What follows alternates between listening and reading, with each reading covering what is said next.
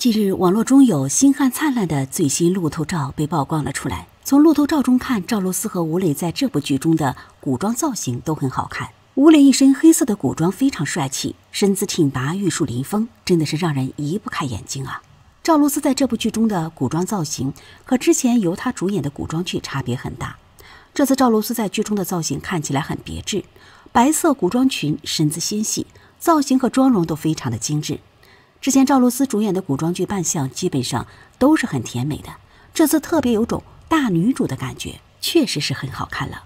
作为鹅厂的重点项目，网传拍摄时间长达五个月的《星汉灿烂》剧组，在经历了男主因伤出走后又活力回归之后，剧情拍摄终于来到了男女主见面的时候。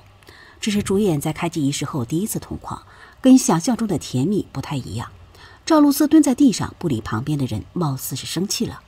闹矛盾戏份意外甜，吴磊哄妻笑容出圈。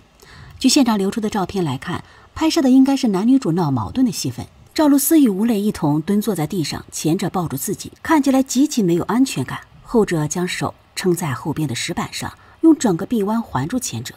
在后续的拍摄中，许是受到了极大的委屈，现在心里难受的很。赵露思捂住耳朵，别过身去，不想面对吴磊，而吴磊也不着急，就这样温柔看着眼前的人。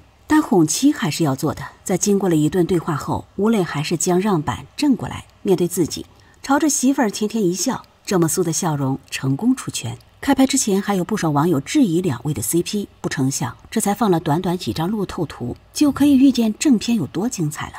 赵露思百搭 CP 体质，吴磊年下却成熟。其实细想一下，这两位搭档怎么会没有 CP 感呢？赵露思是百搭 CP 体质。这个优势帮助他在挑选剧本上能够拥有一定的主动性。现在影视剧市场的大部分制作还是跟爱情有关，而感情剧除开剧情之外，主演之间的氛围是选角要去考虑的。赵露思自出道以来，与同龄的李弘毅青春情侣，与林雨申大叔配萝莉也甜蜜一点。